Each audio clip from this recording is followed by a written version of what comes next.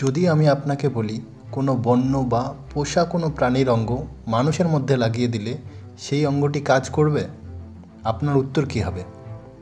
অবশ্যই সম্ভব নয়। কিন্তু আজ আমি আপনাকে সাম্প্রতিক একটি এমন ঘটনা সম্পর্কে বলব, যেটি আপনার বিশ্বাস না হলেও সত্য। আসলে আমেরিকার এনওয়াইইউ হেলথ সেন্টারে একটি মানুষের খারাপ কিডনির বদলে শুয়োরের কিডনি ট্রান্সপ্ল্যান্ট করা হয়েছে। আর মজার ব্যাপার এই যে, সেটি ভালোভাবেই কাজ করছে।